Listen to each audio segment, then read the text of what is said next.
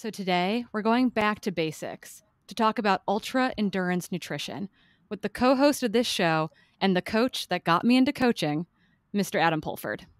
Adam Pulford is a pro level coach with CTS, a level one coach with USA Cycling, a level one coach with USA Triathlon, and a certified strength and conditioning specialist with the National Strength and Conditioning Association.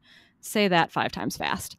He's been coaching for over 15 years and has been the team director and coach for both professional mountain bike and for road cycling teams, and is now the co host of this podcast, the Train Right Podcast.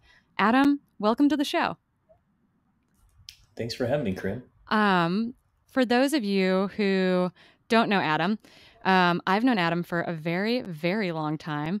Um, I think you've been a character reference for me more than once at this point. Perhaps, and that, that makes me feel good to, to, to hear that character reference for sure. So. Okay, so as I mentioned to you before we hit the record button, races are back. I've got athletes doing B races, tuning up for big A events later this summer and fall. Everyone is super excited, but we're also making kind of silly mistakes. I recently had an athlete completely forget to drop off his drop bags, which contained his key nutrition for a big long race. Yeah, that's that's that's not good, but it's you know we're we're just a bundle of habits, right? And when we've been you know racing year to year to year, and you're kind of like honing your craft, so to speak, and all of a sudden you have a pandemic where you don't race, your habits get off. And I think that you know your athlete and, and my athletes and even myself, it's like the first few races back, it should be expected that there's a few cobwebs to blow off, a little bit of rust to knock off, and you know that that's fine. So a little grace along the way as we uh, settle back into race mode, I think is just fine. Yeah. So we're gonna we're gonna make mistakes, but to try to help mitigate and limit some of those mistakes, I think today is a great opportunity to talk about what we can do in training to get us ready for those big like for those big stage moments where all the chips are down and we have to be ready to perform. So one of those big ticket items I see with athletes is if they're going to mess something up, it's you know they're they're well trained for the event. It's oftentimes going to come down to handling situations out on the race course or messing up their race day nutrition. So I want to dive into specifically training or nutrition for these ultra endurance activities. And in my mind we're kind of going beyond the the typical the half marathon the marathon. We're going we're going bigger. We're on the bike longer. We're in our running shoes on the trail longer. What does that look like? Say you've got an athlete and they're stepping up in distance this year. They're doing their first you know maybe they're in kansas this weekend doing their first 200 mile gravel race. How do you approach nutrition and nutrition changes for that level of performance with an athlete? Hmm. Well, I'll speak to I'll speak to the cycling and maybe even like triathlon side of things. I have a lot more experience rather than uh, you crazy ultra runners out there, and maybe I can learn a little bit from you uh, when it comes to those hundred mile runs. But uh, you know, Unbound uh, out in Kansas is a, is a good example for this because it is super long but it also has uh, what I call performance elements to it. Meaning, for off-road races, they all they all start hard. Okay, so the first hour is like super hard, way harder than you'd normally go if you're doing a 200 mile or 150 mile race. I mean, 100 mile. Let's face it.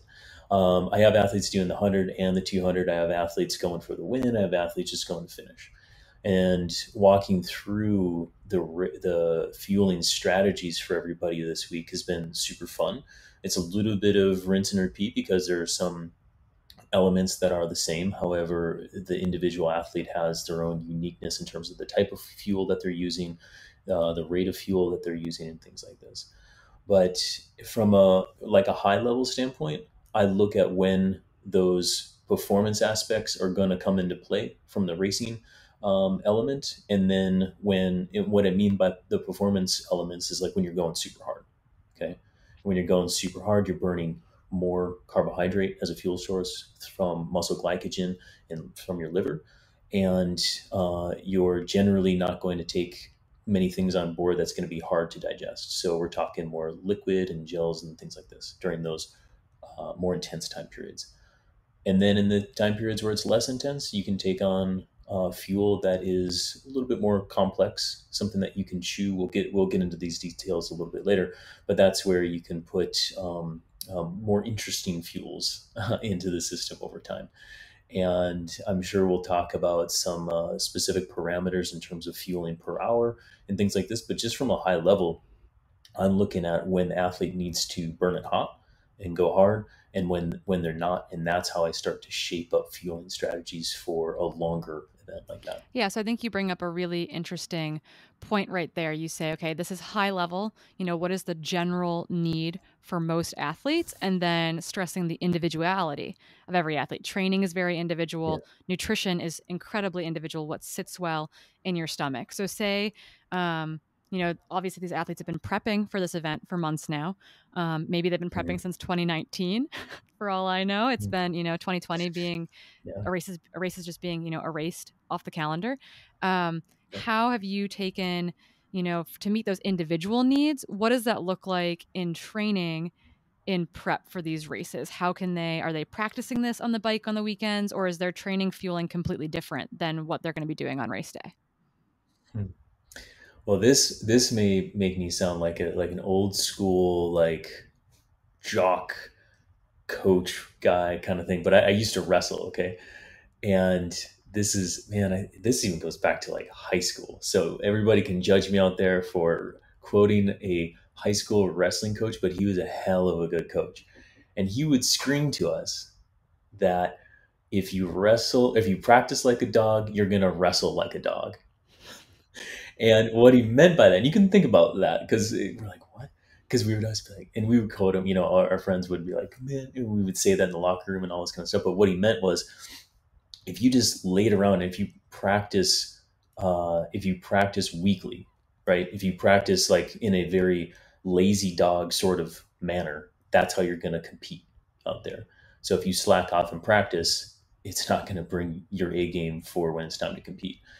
And where I apply that to my coaching in the here and now is everything that we do in training leading up to an event is pretty much the same as the day of event which is why you're you know if you're uh, if you have a coach out there they oftentimes will say you know nothing new on race day because we want things to be automatic. We want things to be um, a known factor and by introducing something especially a fuel source in um, that's un you know unknowable to your stomach as well as to your body you could have some bad things going on. So i shake all that out in you know the you know months and weeks leading up to the event. Um, specifically the the stuff that we can carry for the fuel um, type and also i like to plan on stuff that's long like this or in particular stage racing which is some of my favorite um, stuff where you want to be adaptable to the food that you're going to see out on race course as well. So whether it's you know uh, pretzels or M and M's or uh, in Central America, like in Costa Rica, they have papitas de sol, which is just you know uh, little boiled potatoes where you can dunk them in salt and put them in. And so you want your gut to be adaptable to all different fuel sources while kind of hanging your hat on the fuel sources that you can carry and know that's going to sit well. Yeah, I think that's so important to know that they that they have they've tested it. They have shown up time and time again during training to make sure that what they're going to see on race day is going to work and that allows you to backup plans which we can talk about more later i find it so frustrating when athletes are willing to spend the time spend the money spend the resources to get to these events but they refuse to practice that nutrition and they can throw their race away because they're not prepared for that. Their gut, which is a trainable organ, is not prepared for the race day demands of eating. I see so many runners who maybe they eat 100 calories an hour on their run, on their training runs, like they're generally under under fueled. I am guilty of that on many a long run. But then we turn around and expect our stomachs to be able to take in 200, 300 calories an hour on race day, and there's no way your stomach can be ready for that which I just think it's it's yeah. so frustrating as a coach. Um, I'm sure you've I'm sure you've never seen that with any of your athletes. No, never, never, and I've never done it myself either. You know, we're just perfect, perfect people over here. Um, no, not so much. Um, but but yeah, you, you, bring up the the great point. I mean, the gut is trainable, right? And the, the, the athlete needs to consider that as an adaptable and trainable aspect, because um, if you get really good at fueling, say you know you throw out two to three hundred calories per hour, good good starting point. Um, when you start to do that and you're not used to it, it may feel bad. You may have some GI issue and all this kind of stuff. And then you go back to coaching and say, "Oh God, I felt like throwing up." All this kind. Of, okay, go do it again, because the second time, the third time, the fourth time you do it, you'll realize that your body will start to absorb that, and then all of a sudden you start producing better powers, holding better paces, and having a better experience out there, and it just becomes more fun which is kind of the end goal for most of us. I would hope so. I hope the end goal is to have yeah, so. have more fun. Um, I know that I'm approached by several athletes, and I, I, think this holds true in the cycling side of things um, as well. Is that obviously our training rides and runs aren't going to be necessarily as long or close to as long as our ultra endurance events, particularly if you're going like 12 hours plus, right? Like if you're training for cross country racing or shorter shorter road road stage racing type stuff, you know, you might you might train longer than you race. But for most of us in this kind of category of distances, we're not hitting those distances on a Saturday ride or a Sunday run or something of that nature. And so I've got athletes that come to me and they say, every time I get past the six hour mark in a race, my stomach falls to pieces every time I get past this point. And it's not like, oh, we can say, okay, well, we're going to go run for, you know, eight hours every weekend and, and get you to that point. So you can practice eating past that point. How do you, how do you deal with that as a coach working with athletes who are going to be racing unknowable distances or unknowable amounts of time when they kind of step out of, you know, these traditional distances? Yeah. I'm, I'm a little more fortunate to work with athletes in, in more cycling and triathlon where we have less pounding over an eight hour time period right than, than, runners. So i can i can go to those durations a little bit more frequently than runners can. And you start to shake it out you know in those long sessions at, at that point in terms of you know how your body reacts to the long stuff um, versus the the short stuff. So in in but in that area, the first couple times where a rider or an athlete goes up to around six hours, and I'm glad you brought up six hours because that is kind of a magical cutoff point to where the body does start to change because of the the fatigue that's occurring, the exposure of time that you're out there, and kind of the the exponential fatigue that does occur after six hours. For a lot of my athletes, even doing stuff like Leadville and all this kind of stuff, I mean, six, seven hours is going to be my topping out point for that. Um, for like I got, I do have one guy doing the Unbound XL, and we've gone longer and we've blocked it up. I'll talk about that here in a minute. But basically, what you're talking about is um, you're bringing an athlete up to the edge of what they've known before in terms of, fatigue for a, a you know concentrated time period. You want to bring them up to there because you because you want to see what happens and you don't know really what's going to happen and nor do they because if you bring them up to an edge an edge meaning they've never been there before uh, you want to keep to what you know to be true meaning say fueling at two to three hundred calories per hour as you go and also tune into what your body needs. And this is where i call like it's an emotional palette that we have throughout this long ride or long run because you're going to have all these cravings. Sometimes you want to feed those cravings sometimes you don't because you want to stick to the plan, but also give you give the body what it needs along the way.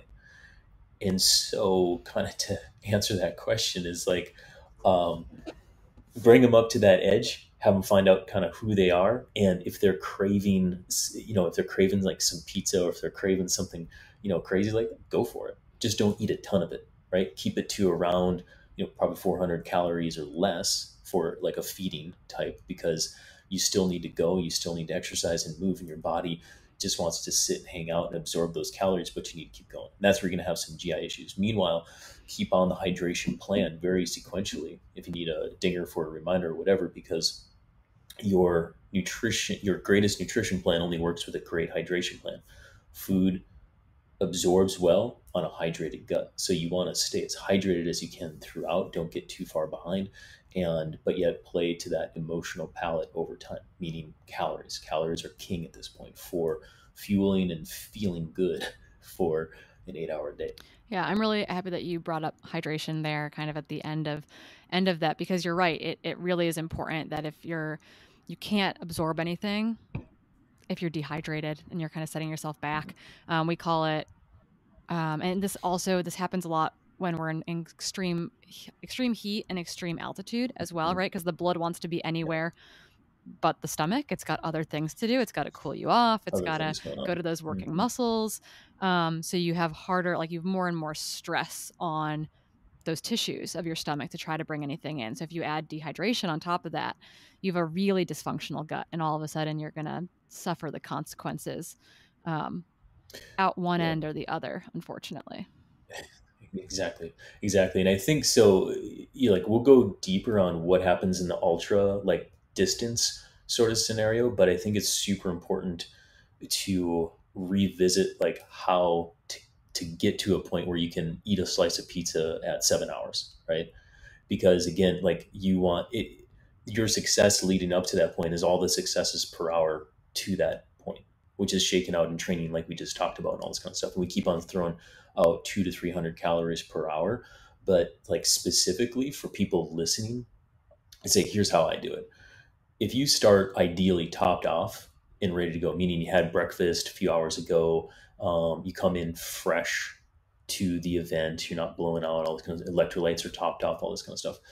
And in, in say my world of off-road racing or cycling and triathlon, you well, triathlon's not there. Off-road racing, let's take that. Unbound. You start hard, everybody's going. I mean, it's dark, you know, there's some lights going on. It's like, oh my God. The last thing that's on your mind is really fueling at that point. So you want to start topped off and ready to go because you really can't fuel like you should in that first hour. But you also don't need to because your liver, your muscles, your blood is topped off and ready to go. Fuel tank is full. After that first hour, things start to stabilize, normalize.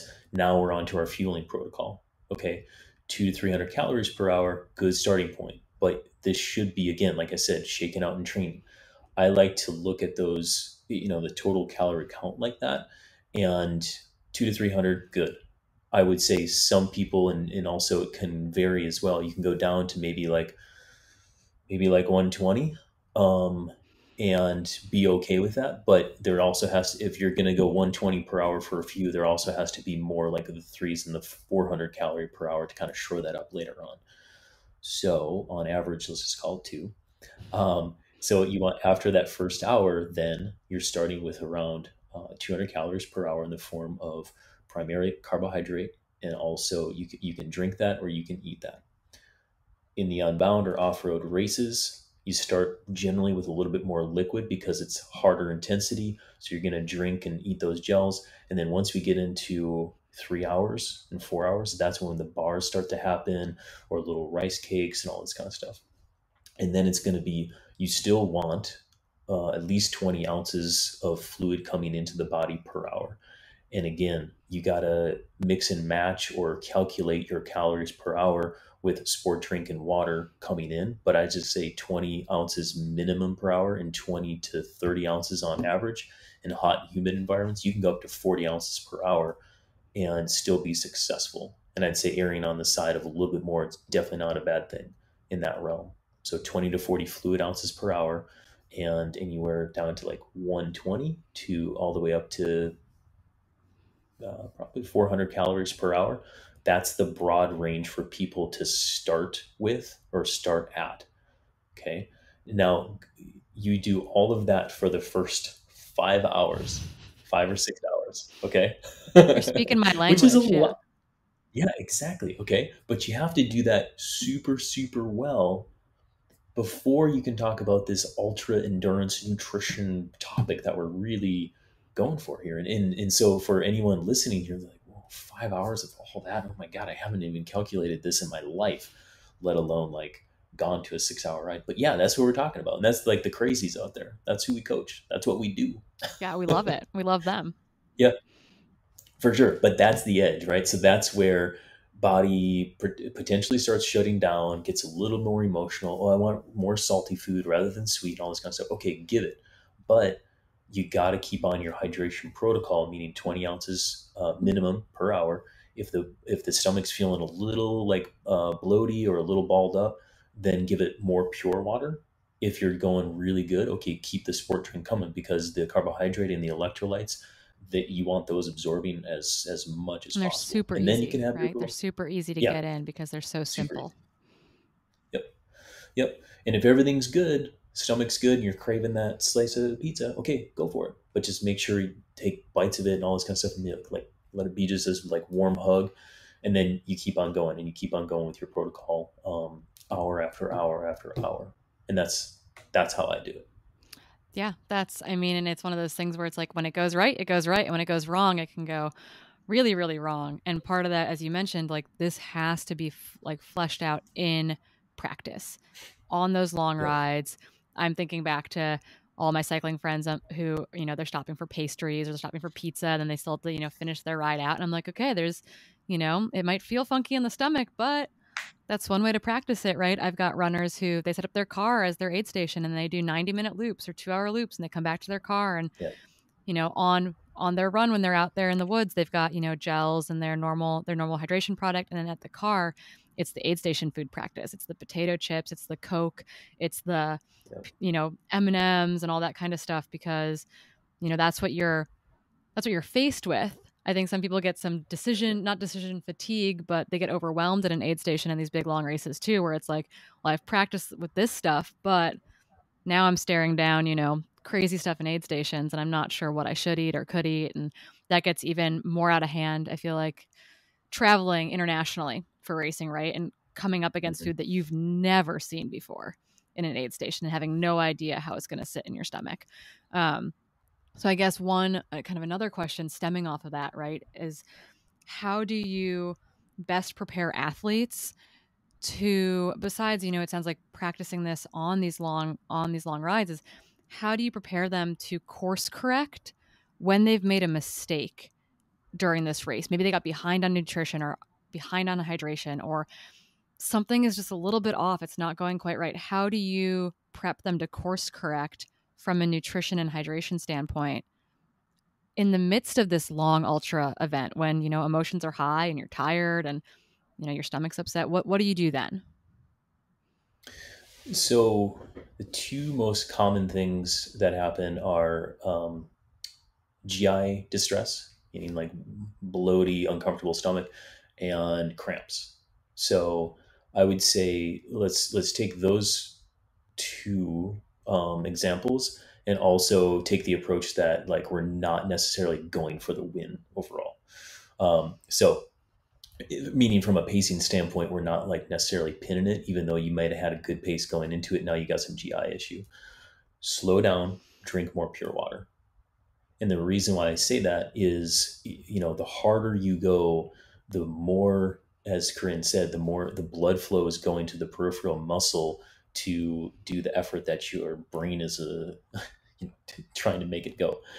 And so if you can slow down and bring some blood back into the stomach and also just drink a little bit more pure water and just like sips at a time, you're going to help rehydrate the gut and you're going to help bring blood to help digest and hopefully calm that situation down. If you've got major GI issue and you roll up to the uh, you know aid station, plant the bike or whatever, go to the outhouse, do your thing, come back out, and then go slower, drink more pure water, away we go. And that's that's kind of the go-to for Yeah. that. It's not a super sexy answer, but It's not but it's important honestly even at the front of ultras it's like if you got to slow down for a second to get things under control to to thermoregulate better to get that hydration or nutrition in Yeah. that could save you time 20 miles down the road 40 miles down the road as opposed to you know Yeah. death marching in and i don't know how you death march on a bike um because gears are involved but in a in running ultras right we can we can death march for a very long time and it's not a pleasant experience Yeah, death marching is not com- uh, not a great thing. Uh, but I'll share a quick story about Cape Epic. One year, I did this with my athlete, and it kind of it, it applies here. GI issues for sure, but it's it was coming from. It's not from my fueling, uh, but what happens there is uh, your body's not used to the bacteria, especially like in the water. Okay, South Africa, and uh, this was my first year down there, and it's like fifty percent of the field gets something. Okay, and it's and it's the, in the water, and you just kind of know and accept that. There's a few hacks that you can travel with in terms of like a, uh, like a Cipro, or there's there's better antibiotics, strong antibiotics, but you don't want to resort to that necessarily. Anyway, had some bacteria going on, and I, w- I had like sweat, just like I wasn't sleeping. I was like sweating profusely, like at night, and I was just like, man, I need electrolytes and I need hydration. So I was I was drinking as much like pickle juice as possible and and uh, electrolyte um, uh, drink and water. But I a couple times I just had to communicate to my teammate. I was like, hey, look, just soft pedal. I need to go in the woods. I'll be right back. Okay. Brought some toilet paper with me a few times, and I got to the point where I had to. It's really dusty there, and luckily, uh, Spot gave us a free little neck buff, and I ended up having to cut the neck buff in half uh, in order to uh, do, get rid of a GI uh, issue. But again, you communicate with your teammate. Away you go, and you soldier on. You just get through. Yeah. And then, but but again, it was like I knew that I was losing so much fluid and fluid. Like we're just you know so watery bags of salt, right? And so I was just trying to consume as much water and salt as possible. Luckily, I, I really enjoy pickle juice, so I was just like loving loving it, man. Yeah. Did you? So you're obviously having GI issues during that experience. Yeah. Did you also did you experience exercise associated muscle cramping with that too? Your cat, your uh, calves uh, yes, freak out. Your yes. adductors freak out. Yeah. Um, in that particular one, I can't recall. I probably did. I mean, because I was just losing so much, but I, I definitely have gotten cramps, you know, in the past, and it's also the other common example so in that situation cramps are they're multifaceted so it's not just electrolytes i want people to to realize that okay and there's a lot of specificity that goes on and the specificity of not only excuse me say uh, uh, performance meaning when you're going hard and fast for long periods of time and this is where kind of like finding those edges come back in typically when you're cramping um, from a performance aspect like you're just time trialing your face off or um, or kind of in this performance zone where you've never been before, you'll start to cramp. Okay, happens early season, happens on like say hill climb, really long hill climbs where you haven't done that before. Could be back, could be legs, could be adductors, whatever. Um, so what you want to do is again comes back to training. You want to keep on finding your edges in training, keep on pushing the boundaries of what you're able to do. Meanwhile, there is an electrolyte and hydration component to it. So goes back to our fueling per hour. You want 20 to 40 fluid ounces per hour. You want a couple hundred calories per hour. And in particular, we didn't talk about sodium and electrolytes, but sodium's the main driver here. Okay. Uh, 500 milligrams on average per hour is what I recommend. Okay. Plus or minus a few hundred milligrams. And that's going to be really helpful in staving off some of those uh, cramp situations. I also like to use a couple products for uh, preloading for a really hot, humid environment or a really extreme, uh, like performance environment, and a couple products there. Uh, the Osmo Preload, super good, as well as Skratch's uh, hyperhydration and all that's going on there. You got a little carbohydrate, and you've got a lot of sodium citrate, sodium chloride uh, and a few other electrolytes. But again, sodium is a primary driver. It's about 1,500 to 1,700 milligrams of electro- electrolytes that you're pumping into the super system. Super salty. To again, bag of saline. Super salty. Yeah, bag of saline. Exactly. Um, but if you're able to put that into the gut an hour ahead of time on a relaxed stomach, it's then gonna filtrate into the body, and you'll be topped off and ready to go.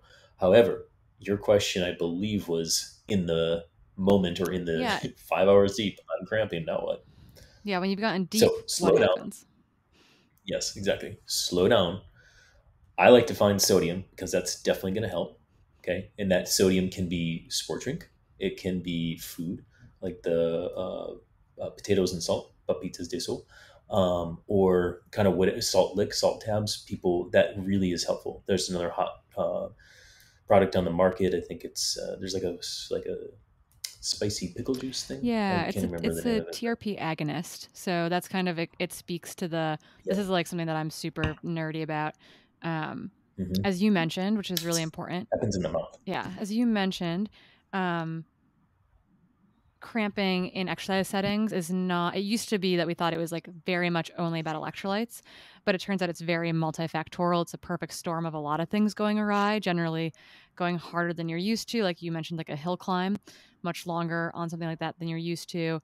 Um, obviously environmental factors are stressful to the body and so it's more of a neuromuscular thing that's going on. It's this neuromuscular fatigue and so there's companies on the market. This is why pickle juice works pickle juice isn't necessarily about the electrolytes it's about the fact that it's the vinegar. And so you have these things um, throughout your mouth and your throat throughout your body they help um, tell you that things hurt they help to tell you if something's cold or hot. And there are products now actually that are designed to trigger those they're called trp channels designed to trigger those locations and basically reset the neuromuscular system to say okay, we've been you've been getting the signal contract, contract, contract. We're resetting that, so now you get contract, relax, contract, relax to break that cramping cycle. Um, they've definitely been there. I've, I've used them. I used them at Leadville um, when I was cramping, mm-hmm. and they definitely help to abate cramps when they're in process. But the, I don't think they've been proven to prophylactically prevent cramps from happening um, which is I think one of the the marketing claims initially. But yeah, if you're if you can handle some cayenne pickle juice essentially um, mid ride or mid run because um, you're cramping, it's definitely a nice little thing to keep in your in your bag for emergencies. Okay, so Corinne, you were just talking about the TRP channels, and I wanted to go there as well. I don't understand it nearly as much, but the literature that I was reading even this was was this a few years ago now? When like when like it was like a really hot topic that kind of thing. So the trp channels happen but it's like this acidic and spice that happens over the mouth or like what what mechanistically like what is happening in the mouth to do this? Yeah. And or and then up into so the trp channels they're um they're pain receptors and they're temperature receptors. And so they we call them we call things agonists if they can activate that channel. Mm-hmm. And so things that are agonists for specific TRP channels, and they have numbers like TRP V8 or V1. Um, agonists for them are things like cayenne, wasabi, menthol. Um, there's a bunch of ginger. There's a bunch of other things. Um, mm-hmm. but so there's a bunch of research that's going to come out about menthol in the coming year, I would say, probably with the Tokyo Olympics, because akin to your body saying recognizing cayenne at this channel if it, it recognizes menthol and it feels it tells that channel because that channel is associated with cool sensations cooling sensations um, recognizing cold it tells that channel oh this is a cool thing. I am feeling cool. And so they're using it in uh, heat settings actually to elicit a um, a change in perceived not perceived exertion, perceived feeling of the temperature. Um, so you could use it not to thermoregulate, but to elicit a more pleasant experience in the heat, for example. Tingly, tingly response, cool, tingly yeah, response. Basically. Yeah, yeah, that makes yeah. sense. Um, so yeah, that's so the practical application here is like like you said, like pickle juice, right? Um, it has some of those characteristics. There's some um, you know engineered products that you can buy out there. I personally have never done that. But for years, um, I have been using and also recommend uh, pickle juice. And, and how to do this is you get like a gel flask that can carry like you know three, four, five gels, whatever, and that pickle jar that's in the back of your refrigerator. You just take that jar, pour some of that juice into your gel flask, put that in your back pocket, and or have it at a feed station or something like this where you know that you're gonna probably be a little bonky around four or five hours, something like this, and take a hit of that take you know try it in training first of all. Yes, practice. Um, see how much you can tolerate. Yeah, exactly. But gosh, in all my long stuff, um, it's it's always there. It's always there. Um, and in particular, so say if you don't have TRP channel inducers, yeah, ag- we call them agonists in the lit- like in the literature in agonists. the science, we call them agonists. Okay, TRP agonists. Okay, if you don't have those in your back pocket, what do you do then? Um, man, you you got to be gritty. And one so one one race in particular. So I I, I uh, what, used to race, and then I just like started coaching, and then didn't race for like six or seven years, and then I got back to racing. Uh, long story short, and so I got myself uh, peer pressured into this race. I got off the front, and we are off the front of the 60 mile road race, 70 miles. I don't know. I was off the front for like ever with one other guy. we are going. I was feeling good, whatever. And all of a sudden, like it was just like Adam's level of stoke comes dropping down, and the cramps start ratcheting up. And I'm like, oh my god! And I botch a bottle in the feed, and I'm just like running low. I had double electrolyte uh, sport drink going on and I was like trying to get all of it I could, but I was just like counting off the miles. And at the end of the day, like I didn't have enough fuel. I wasn't well prepared. It was not a great, like, I, I, I want to say it should have been like a pandemic that botched me off my habits or whatever, but I just had to grit my teeth and bear it and get to that finish line. Guy out sprinted me and I just, I, I like stood up for the sprint, almost locked up and I just so it. sounds like everything that could go wrong in preparation and then in the race itself did did go wrong. And the only thing that could get you through it is just, you know, grin and bear it in a lot of ways. Yeah, but I mean, I'm I'm like a 2-hour champ, you know? Uh, like for 2 hours I'm good, but for a long that's this was pre-pandemic Adam, okay. by the way. I, I actually did some training and some volume and stuff and now I'm pretty good um, for the longer stuff, which is way better because it makes my life like way more fun when I get invited to the long stuff and then you show up and you actually don't die. Um, it's a primary goal. But yeah, this was like I just didn't do my training. Like so, I didn't do my training, and then I also botched, uh, you know, the fuel game, and then I had all the bad things go go wrong. You know, so happens to the best of us. Yeah, it does happen to the best of us. But it sounds like you know, I think the biggest, the big takeaways here, kind of the overarching theme, right, is that practice doesn't necessarily make perfect or permanent, but it makes it pretty darn close, right? It's all that pre race time that is so yeah. crucial and so important. And I think if we could stress one thing to the listeners, it's you're not figuring this out on race day. You're not figuring this out yeah. during the race. You're figuring this yeah. out in the months and all your previous race experiences to have it come together on race day. Yeah, I'm glad you brought up previous race experiences because that's also important in problem solving when stuff goes sideways out there. And if we're zooming in on the ultra endurance realm of things, um, it's like the more epic events that you do, the more stage racing that you do, the more exposures you get to all the different foods like situations out there, and also a bonking situation to where it's like you just you figure out if your body can handle this like kind of gelatinous sugar looking thing at the aid station that like all the locals are eating, so it can't be terrible. So let's just start with like a little bit at first. Pretty tasty, but okay, now I drink more pure water and all this kind of stuff, right? And so you you figure out like what your body can tolerate over time. And, and also you're training your body to be adaptable on the fly like that. And I can't I can't stress that enough in terms of having an adaptable gut, an adaptable like mindset between the ears. Yeah. The stuff always goes sideways. Stuff always goes sideways, but practice always. and experience go a very, very long way in creating a successful, happy, not death march race day experience. 100%. 100%. Um, I could go a death march. I could go death march as well unless unless you had something else to add to that. If you want a death march like example. I mean, I'm I mean, I'm always thrilled to hear. I think all of us have have I mean, I hope not everyone who's listening to this has experienced a death march situation, but I am happy to listen to you tell us about your death march situation.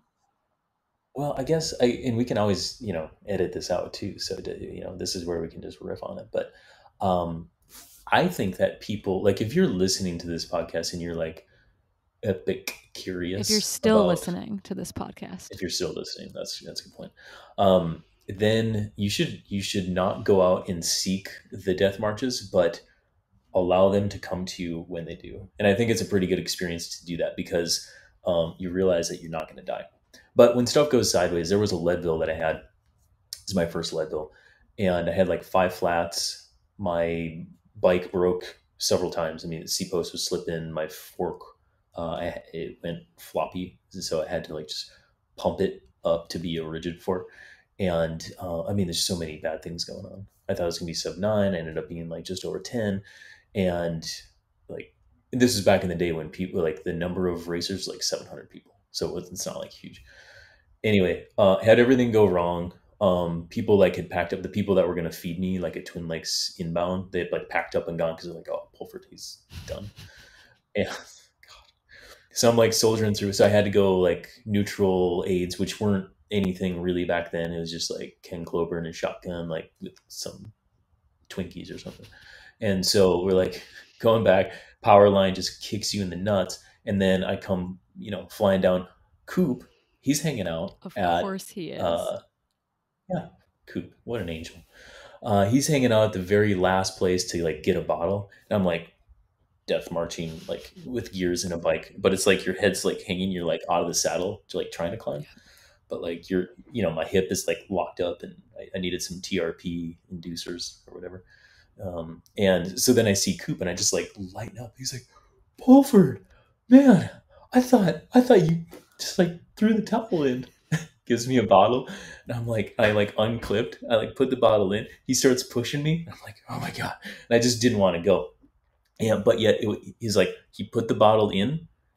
I think he shoved some like food in my pocket because I couldn't like think at that point, right? But he knew exactly what I needed to do, which is like calories and keep yeah. going, right? And through that whole process, I learned not to hit my microphone. And throughout the whole process, I learned how my body like responded and, and reacts when everything goes sideways, like mentally, physically, and then what I needed to do, which was eat, drink, and keep moving forward if you want to finish. Yeah. And it's it's as simple it's, as that. It is as simple as that. And I think people get stressed when they hear that they need to slow down, that they need to eat and drink. It's the last thing they want to do. But and I'm saying, you know, chairs at aid stations and ultras are like very tempting. You sit down in a chair, you might not get back up. But if you need to take five minutes or 10 minutes right then and there to get that fuel in because you're looking at 40 more miles, it's probably worth it. It could probably save your race later on. I mean, or get you back into a place where you know you're actually you're moving again. Um, so I think people write themselves off early when things go awry, but you can troubleshoot even near the front of these races. You can troubleshoot and get yourself back into a much happier position by taking five, slowing down, getting cool if it's too hot, walking if you're at altitude and you need to get some fuel in. I definitely stopped at the top of Hope Pass to eat an oatmeal cream pie during Leadville because I couldn't run and eat anymore, or at, at, least at that altitude. So I stopped at the top of Hope Pass, had an oatmeal cream pie, and then ran down the other side, and it was great. Um, so you need to take that time to get that fuel in um, because it's going to, I don't know, I think it pays dividends at the back end of things. Um, so practice, experience, carbs are king. Learn your body. Practice it during training. Is there anything else that our listeners need to know when it comes to eating and drinking for these for these super super long events? No, I think I think you summarized and wrapped it up pretty good there, and it's and it's a matter of like you said, flushing it out in your training, but then also like sticking to that protocol like hour after hour and being religious about it because you're not always going to want to do it. And that sport drink that you've been nipping on all day doesn't really taste great at hour six, but it is still what you need to put in the system. So, like, trust it because it's worked in the past. And, you know, at the end of the day, you're, you're trying to fuel your body to do the thing that you signed up for that you consider fun. So supposedly, you know, so just smile, eat, drink, and keep moving forward. Awesome. Well, I know we could deep dive on any tiny facet of this for forever and ever, um, but I think we'll wrap it up there for today. Adam, thank you so much for coming on the podcast and yeah, sharing fun. your wisdom with all of us. Love it. Yeah.